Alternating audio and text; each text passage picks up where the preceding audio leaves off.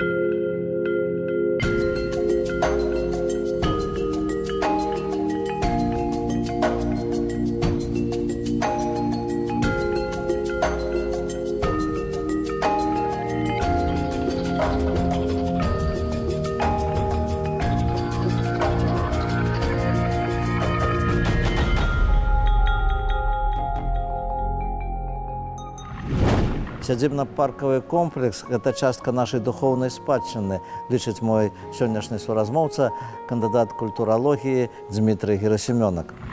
Актуальныя праблемы сучаснасці, гісторыя, культура, родная мова і мастацкае слова. Пра гэта і не толькі пісьменнік і публіцыст Навум Гальпярович гутарыць з таленавітымі людзьмі краіны. Мяне зацікавіла, калі вы сказалі, што вот хлопец докшыц марыў пра музеі, марыў пра вось навуку. Як это так атрымалася? Вы ведаеце, гісторыяй цікаўся яшчэ з самага дзяцінства. На гэта паўплывалі, напэўна, ўспаміны родных і блізкіх пра перыяд вялікай адчыннай вайны. Даволі багатая хатняя бібліятэка, напрыклад, быў, былі поўныя зборы твораў дзюма, караткевіча. Я ў школьныя гады заўсёды нешта калекцыяніраваў. Гэта былі манеты, банкноты, маркі, дарэчы.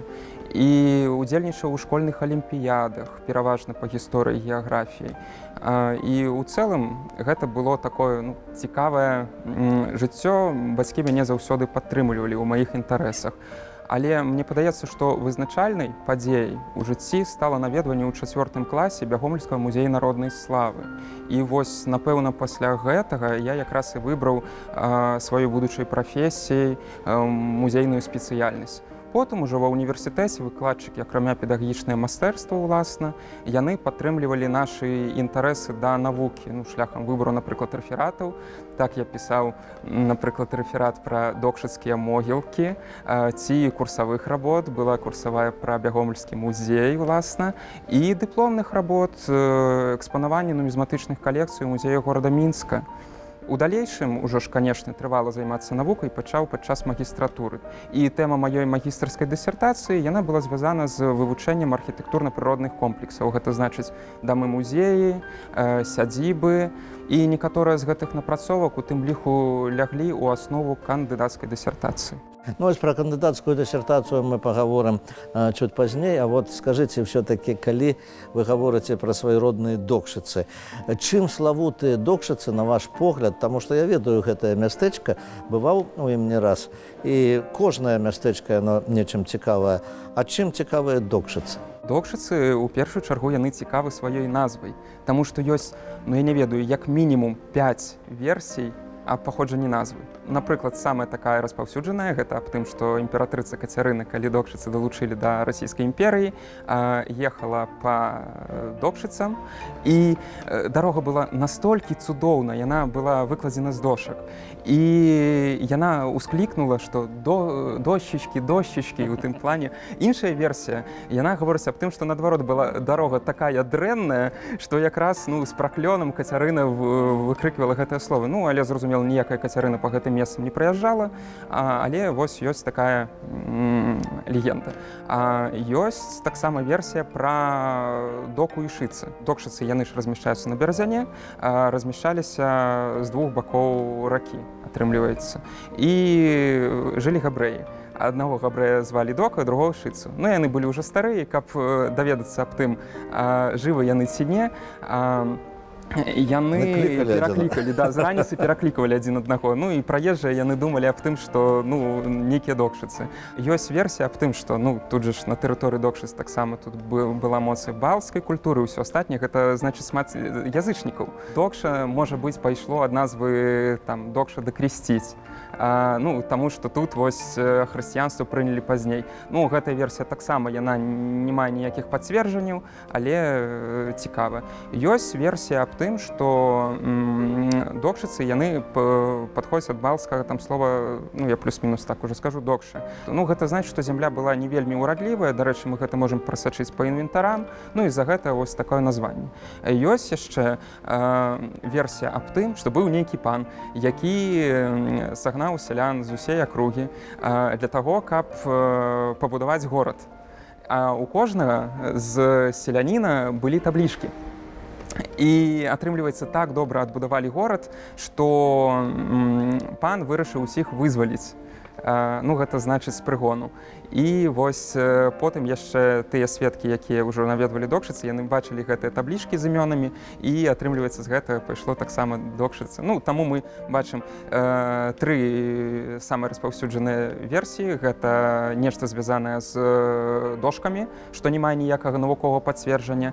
Нешта звязана з этымалогіяй э, што ў прынцыпе можна нейкім чынам звязаць з гісторыяй. Ну і розныя кур'ёзы Ну што ж я яшчэ пра докшыцы ведаю даўно пра тое, што докшыцкія камяні, што ў прынцыпе на палях было шмат камянёў і ў свой час нават быў вопыт докшыцкіх сялян, якія убралі гэтыя камяні і пра гэта пісалі, пра гэта пісалі ў друку, так сказаць, это было таксама. А вот тэма кандыдацкай вашай дысертацыі якая? Гэта музеіфікацыя сядзібна-паркавых комплексаў Рэспублікі Беларусь як сродак актуалізацыі гісторыка-культурнай спадчыны. Ну вось што такое вот гэтыя комплексы, як іх растлумачыць проста вот, папулярнай мовы? Ну калі папулярнай мовай, тут напэўна, што ўсё ж такі трэба пачынаць што такое музеіфікацыя. Музеіфікацыя гэта фактычна перавод у музейны стан любога аб'екта ну, напрыклад гісторыка-культурнай спадчыны. Што ж датычыцца сядзібы, то сядзіба гэта ну, самы простае вызначэнне гэта комплекс э, жылых і гаспадарчых пабудоў, які у прынцыпе ўтварыўся зыходзячы з густаў, напрыклад уладальнікаў там э, захоўвалася своеасаблівая культура, а там ну, у прынцыпе стваралася гісторыя Таму што ну звычайна сядзібы яны ўсё ж такі належалі а, выбітным дзеячам беларускай гісторыі культуры. У дысертацыі я якраз і звярнуўся да вывучэння пытання што такое сядзіба што такое сядзібна-паркавы комплекс. Рабіў акцэнт на культурным ландшафце як важным аспектам менавіта сядзібы. Потым было цікава паглядзець як гэта ўсё замацавана ў нашым заканадаўстве. І таксама таксама ў савецкім і дасавецкі перыяд таксама вывучаў. І самае ж галоўнае што рабіць з сядзібамі гэта значыць як ствараюцца музеі на базе сядзібаў якія асноўныя прынцыпы што трэба рабіць каб палепшыць дадзены вопыт. Потым і актуалізацыя гэта значыць як напрыклад сродкамі турыстычнай дзейнасці ці іншымі праектамі папулярызаваць дзейнасць ну не толькі о сядзібах але і менавіта уладальніках сядзіб у вёсцы вялікія лашкі шаркаўшчынскага раёна быў сад Івана Павловича сікоры. Гэта вельмі унікальны садавод. І я яшчэ быў у гэтым садзе. І пакуль збіраліся там зрабіць музей Івана Павловича сікоры сад быў знішчаны. І ўжо аднаўлялі сад сікоры новымі саджанцамі якія купілі у іншай гаспадарцы. А, да ёсць і такая сітуацыя. Зразумела што ўсё ж такі калі мы гаворым пра сады і паркі гэта мы гаворым пра дрэвы і іншыя насаджэнні. У іх ёсць свой час жыцця. І навукоўцы пачалі звяртаць увагу аб тым як захоўваць усё гэта дастаткова параўнальна нядаўна. І дагэтуль не прыйшлі да адзінай высновы таму што ну нават калі мы будзем часткова замяняць насаджэнні ўсё роўна не будзе таго ж выгляду як ён быў пры стваральніка гэтага сада ці парку і таму ну некаторыя з даследчыкаў яны разглядаюць адзіным спосабам аднаўлення гэта якраз ствараць нанова сад ці парк Тым не менш вот тыя сядзібы і тыя паркі, якія існуюць там у нясвіжы, там у іншых такіх месцах яны у асноўным захоўваюцца ў такім выглядзе, якім яны былі. Тут жа ж скажем так, трэба пачаць того, што увогуле мы ведаем пункту гледжання навукі аб сядзібах ці а садах і парках. Ну, напэўна, нейкія першасныя дадзены мы можам атрымаць ад Наполеону орды ці, напрыклад, вывучыўшы інвентары асобных сядзібна-паркавых комплексаў. Далей мы звяртаемся да энцыклапедычных выданняў. Гэта архітэктура Беларусі, гэта збор помнікаў гісторыі культуры, гэта кніга памяць па асобных раёнах. потым мы ідзем по манаграфіям зразумела тут у нас федарук анціпаў э, несярчук кулагін зразумела матэрыялу навуковых канферэнцый інтэрнэт-рэсурсы і ўсё астатняе і такім чынам ну чым больш у нас звестак тым больш якасна мы можемм даследаваць нашу гісторыка-культурную спадчыну і ў дачыненні да вашага пытання тым больш якасным можемм яе аднавіць але аднавіць на сто процентаў гэта нерэальна на мой погляд таму што для гэта трэба ствараць машыну часу калі вы гаварылі пра сваё докшацкае дзяцінства мне падалося што разам з тым што вот былі і нумізматам што вы цікавіліся гісторыі напэўна і мастацкая літаратура наша перадача шмат удзяляе ўвагі менавіта літаратуры мастацкай таксама ўплывала на ваше станаўленне і на вашу прафесію. Зразумела у прынцыпе уся літаратурная спадчына усе літаратурныя творы яны так ці інакш уплываюць на маральна-духоўныя якасці чалавека чаму ж мы дарэчы і вывучаем асноўны пласт беларускай літаратуры ў школе. Я бы адзначыў владимира караткевича у прынцыпе стваральніка не пабаюся гэтага слова беларускай гістарычнай прозы. Дзікае паляванне караля стаха чорны замак альшанскі івана мележа. Мне ён вельмі спадабаецца. Людзі на балоце сэрца на далоні можна таксама адзначыць і васіля быкова а а знак бяды вось вобраз усё ж такі сцепаніды ён крынае да глубіны душы. Ну і хатынская повесць алеся адамовича Ну вось вы сказалі мы рыхтуем музейшчыкаў. Вы працуеце універсітэце вы загадчык кафедры. Якія сёння студэнты? Якія з іх будуць музейшчыкі і чаму вы іх вучыце? Гэта вельмі комплекснае пытанне. Сённяшняе студэнцтва яно на мой погляд больш прагматычнае арыентавана на канкрэтныя вынікі у прынцыпе на практыку. Але гэта не значыць што у студэнтаў няма напрыклад наших вечных каштоўнасцей. Гэта сям'я сяброўства любоў да бацькашчыны гэта ўсё ёсць. Просто моладзь зараз яна больш лёгка ідзе на камунікацыю больш мабільная. Мы з нашымі студэнтамі вельмі часта падарожнічаем па беларусі. Ось з апошняга можна згадаць гэта крэва Гальшаны, Ліда, Наваграда, Кіўя, Хатынь. І нават удзельнічаем у раскопах на Менцы ўжо два гады запар.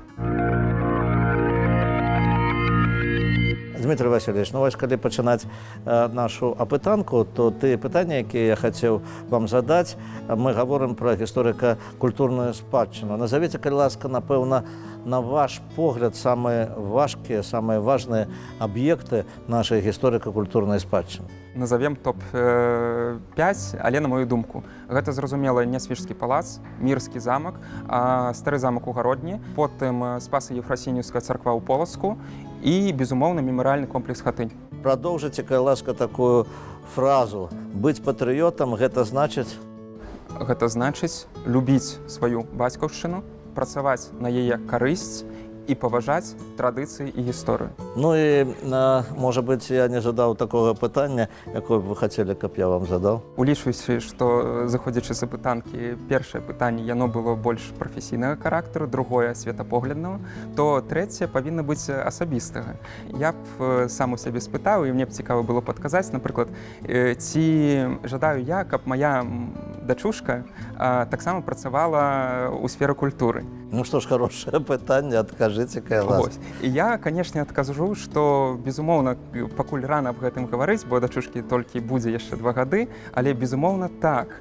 Бо кожны з бацькоў ён жадае перадаць свой жыццёвы і тым больш прафесійны вопыт па спадчыне будучым пакаленнем і вось тут я аналізаваў сваё жыццё і ўсё ж такі яшчэ ёсць такая такая версія як я прыйшоў да культуры справа ў тым што напрыклад мой бацька ён по прафесіі інжынер але ён заўсёды выступаў у мясцовым вакальна-інструментальным ансамблі ў докчыцкім а маці нягледзячы на тое што яна зараз працуе медыкам але у маладосці яна разглядала варыянт працы бібліятэкарам Вось як усё вельмі цікава атрымалася. Ну што ж, нам цікава, вы глядзелі нашы праграмы, вы бачылі нашы сустрэчы.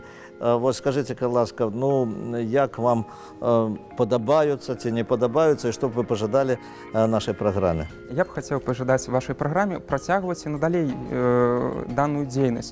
Таму што ну фактычна мы маем зараз унікальную пярліну беларускага тэлебачання такога фармата менавіта звязанага з культурай, звязаная з тым, што вы ахопліваеце фактычна усе напрамкі дзейнасці і можете разгава- разгаварыць кожнага чалавека на адкрытую размову, дзе у прынцыпе можна сказаць усё што заўгодна і атрымаць ад гэта самае галоўнае асалоду. Таму дзякую вам вялікі наум Яковлевич за такую перадачу, такую ідэю.